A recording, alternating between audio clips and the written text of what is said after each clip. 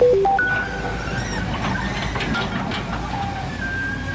SAR gabungan dari Kodim 0821, Polres Lumajang, Basarnas, BPBD dan relawan terus melakukan pencarian satu korban tanah longsor di Desa Pronojiwo Lumajang yang hingga Sabtu 8 Juni masih belum ditemukan.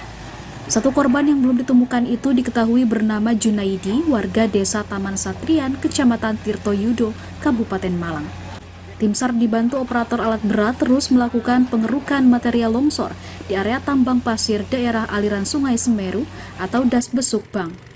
Terdapat lima alat berat dan satu anjing pelacak dari unit K9 Polres setempat untuk mendeteksi keberadaan korban yang tertimbun longsor.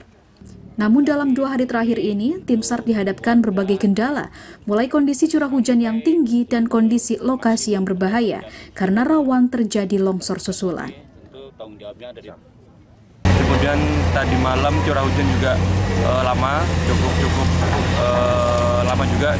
Jadi tanah semakin lembek. Jadi tebing yang belakang kita dikhawatirkan ada longsor susulan.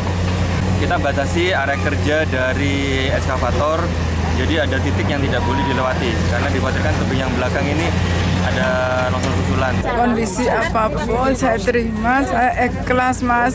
Semoga cepat ketemu anak saya mas.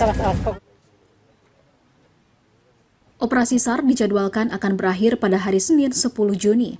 Namun apabila korban belum ditemukan, pemerintah setempat akan mengkaji ulang kelanjutan proses pencarian. Dari Lumajang, Jawa Timur, Hamka Agung, Kantor Berita Antara, mewartakan.